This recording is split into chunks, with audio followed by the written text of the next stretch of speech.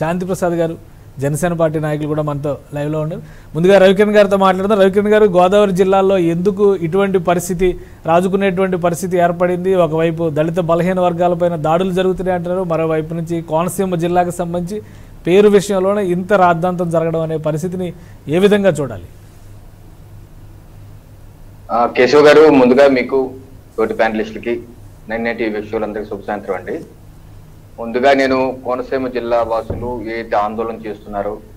దయచేసి విజ్ఞప్తి చేస్తున్నాను హింసను విడనాడండి. హింసాయుత మార్గం సరైనది కాదు. దయచేసి శాంతి శాంతిగా ఉండవలసిందిగా విజ్ఞప్తి చేస్తున్నాను.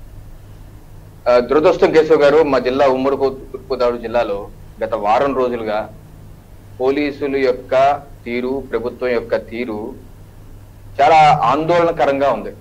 ఇప్పుడు చట్టాలు వాళ్ళ పనాలు చేసుకుంటూ వెళ్ళిపోతే ఎవరికి అభ్యంతరం లేదు కేసు గారు. ఈ దేశంలో అంబేద్కర్ గారు రచించిన రాజ్యాంగం ఐపీసీ సెక్షన్లు ఉన్నాయి. ఆ యొక్క సెక్షన్ల ఆధారంగా కేసులు నమోదు చేసి ఇన్వెస్టిగేషన్ తీసుకెళ్ళిపోతే ఎవరికి అభ్యంతరం లేదు. కానీ ఆ రకంగా జరగకుండా పోలీసులు అధికారులు అధికార పార్టీ ప్రభుత్వం యొక్క తాబేదారులుగా వ్యవహరిస్తూ వ్యవహరిస్తూ చట్టాలను వాళ్ళ చుట్టాలుగా మార్చుకుంటూ ధైర్యంగా కలేజాతో ఘోరంగా చంపేసిన వ్యక్తి కూడా ధైర్యంగా తిరుగుతుంటే దానికి వత్తాసు పడుతున్న మంత్రులు. అతను ఏ తప్పు చేయలేదు కాబట్టి అతను అంత ఆ, ధైర్య ధైర్యంగా తిరుగుతున్నాడని చెప్పి అని వత్తాసు పలుకుతున్నాడు అతని ధైర్యం అతను చేసిన తప్పులో కాదు ఆ తప్పుని మీరు కొమ్ము కాస్తారు. ఈ ప్రభుత్వం మన ప్రభుత్వం ఏదన్నా సరే కొమ్ము కాసేస్తే నాకు అండగా నిలబడతారు. నా మంత్రులు గాని ప్రభుత్వం గాని నాకు అండగా నిలబడతారు అన్న ధైర్యం ఉన్నదనే విషయం బొత్త సత్యనారాయణ గారు చాలా సీనియర్ మంత్రి. ఎన్నో దశాబ్దాలు రాజకీయాల్లో ఉన్నారు. వారు కూడా ఇటువంటి మాటలు మాట్లాడుతూ ఎంతో దురదృష్టకరం. ఈ రాష్ట్ర ప్రభుత్వంలో క్షీణిస్తున్నటువంటి శాంతి భద్రతకి ఇది నిదర్శనం.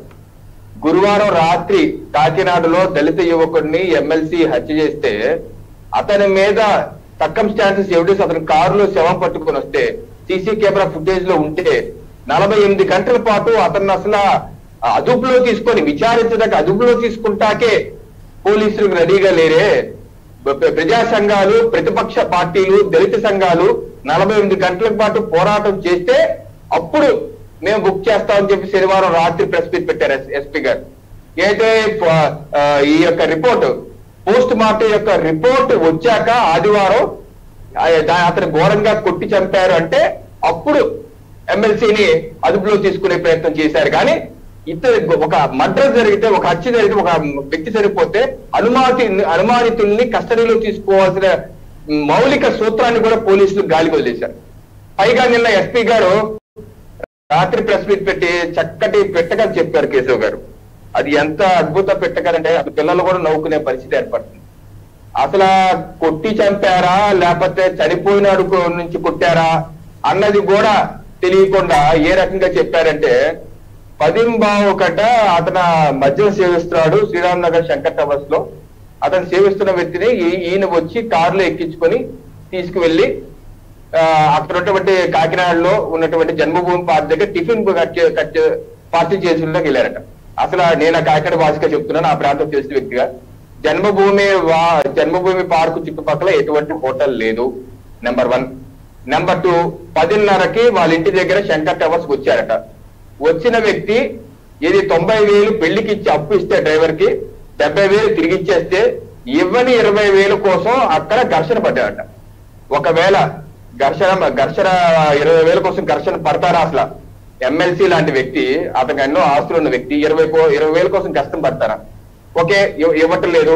ఇవ్వటప్పుడు ఇతను ఏదో అంతకు ముందే కొన్ని గంటలు రెండు మూడు గంటల ముందే సుబ్రహ్మణ్య తండ్రితో కూడా మాట్లాడారు ఎమ్మెల్సీ గారు. మాట్లాడి నా డబ్బులు ఎప్పుడు ఇస్తామంటే పలానా టైంలో ఇచ్చేస్తామని కూడా సుబ్రహ్మణ్యం సారీ సుబ్రహ్మణ్య తండ్రి సత్యనారాయణ కూడా చెప్పాడు.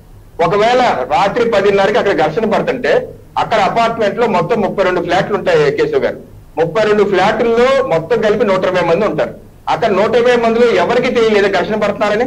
ఓకే ఘర్షణ పడుతున్నారు. ఆ శంకర్ టవర్స్ వాచ్మెన్ స్వ- స్వయాన సుబ్రహ్మణ్యంకి చిన్నాన. సుబ్రహ్మణ్యం అన్న నాన్నగారును ఆ వాచ్మెన్ శ్రీనివాసు ఇద్దరు అన్నదమ్ములు స్వయాన అన్నదం రక్త సంబంధం అప్పుడు చిన్నాన్ని పిలిచి ఏమయ్యా నీ కొడుకు ఇలాగా తాగేసి ఇరవై వేల కోసం ఘర్షణ పడుతున్నాడు. నువ్వు అతన్ని తీసుకెళ్ళి ఇంటికి తీసుకెళ్ళి ఇంట్లో అప్పు చెప్పేసి అని అన్నారు కదా. పోనీ అనలేదు సరే. ఘర్షణ పడ్డారు. తోపులాట చేసుకుంటున్నారు. తోపులాట చేసుకుంటే అంత తోపులాట జరుగుతుంటే ఆ నూట ఇరవై మంది ఆ రోడ్డు నిర్మానుష్య రోడ్డు కానీ కేశవ్ గారు. అది అంత అంతసేపు తిరుగుతూనే ఉంటారు. రాత్రి పన్నెండు తర్వాత కానీ కొంచెం నిర్మానుష్యం ఉంటుంది కానీ అప్పటి వరకు అందరూ తిరుగుతూనే ఉంటారు. అంతమంది అపార్ట్మెంట్లో ఉన్న వాళ్ళకి ఎవరికి తెలియలేదా? ఘర్షణ పడుతున్న సమయంలో పోనీ అక్కడ అక్కడ తగిలేసి రక్తం కారిపోయిందట రక్తం కారిపోయేంత గ్రిల్ అక్కడ లేవు. ఆ ఇల్లు నాకు తెలుసు. పొద్దున కూడా వెళ్ళాను. రక్తం కారిపోయేంత గ్రిల్ అక్కడ కూడా లేదు. ఒకవేళ రక్తం కారిపోయి సోత తప్పారు అప్పుడు ఏం చేయాలి? చిన్నాన్న పిలవాలి కదా. బాబు మేమేదో చిన్న ఘర్షణ పడ్డాం. నీ కొడుకు ఇక పడిపోయాడు. అక్కడే ఉంటాడు చిన్నాన్న. పిలిచి పద హాస్పిటల్కి వెళ్ళి తీసుకెళ్దాం. దా ఏదో ప్రమాదం జరిగిపోతుంది. అని హుటాలను తీసుకెళ్తారు కదా. అలా కాదట. ఈయనే అతన్ని ఎత్తట కారులో వేసుకున్నాడంట.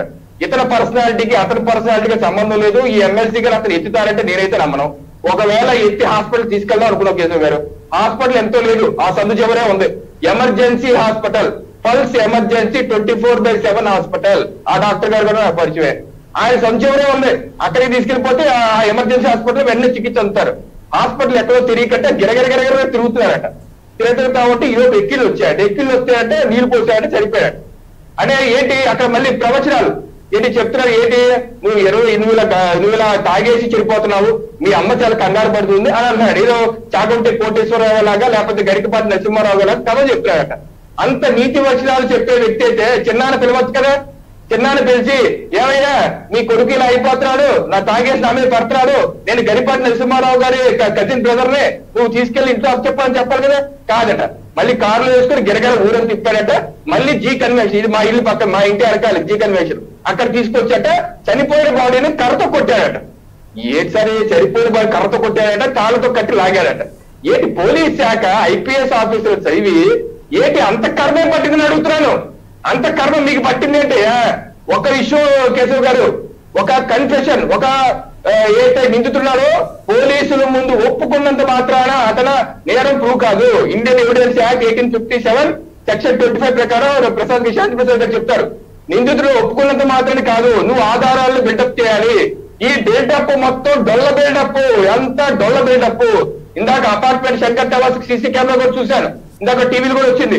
అతను నాలుగు గంటలకి ఎమ్మెల్సీ గారు తన భార్య అనుకుంటా బయటకు వెళ్ళారు. నాలుగు గంటలకి రాత్రి పన్నెండు గంటలకు ఇంటికి వచ్చారు. కారు బయట పెట్టారు వాళ్ళిద్దరే లోపలికి వచ్చారు. మళ్ళీ ఒంటి గంట కంపల్సరీ బయటకు వెళ్ళారు పోలీసులు చెప్తుంది సంఘటన ఘటనలు జరుగుతుంది. కొంతలు రెక్కకి నాగలోకానికి ఉన్న తేడా ఉంది. పోలీసు వ్యవస్థ పూర్తిగా నిర్వీర్యమైపోయింది. ఆత్మ శోధన ఆత్మ పరిశీలన చేసుకోకపోతే ఈ శాఖకి లక్షల కోట్ల రూపాయలు ప్రజాధనం ఎందుకు ఇవ్వాలి? మీరు రక్షక రక్షక భటుల భక్షక భటుల? ప్రజలే ఈ యొక్క విశ్వాసాన్ని కోల్పోతే ఇగో అమలాపురంలో జరుగుతుంది చూసారా అటువంటి దాడులే జరుగుతాయి కాబట్టి ప్రభుత్వం ఇప్పటికైనా చేరుకోవాలని హెచ్చరిస్తున్న KC right right. Right Shanti Prasad గారు. జనసేన పార్టీ నాయకులు మనతో లైవ్లో జాయిన్ అయ్యారు. శాంతి ప్రసాద్ గారు మీ విశ్లేషణ ఏంటి? ఒకటి అనంతబాబు ఇష్యూలో జరుగుతున్నటువంటి ఈ స్టోరీ టెల్లింగ్ అంతా రకరకాల విమర్శలు వస్తున్నాయి. అలానే పోలీసులకు సంబంధించి ఒక క్లారిఫికేషన్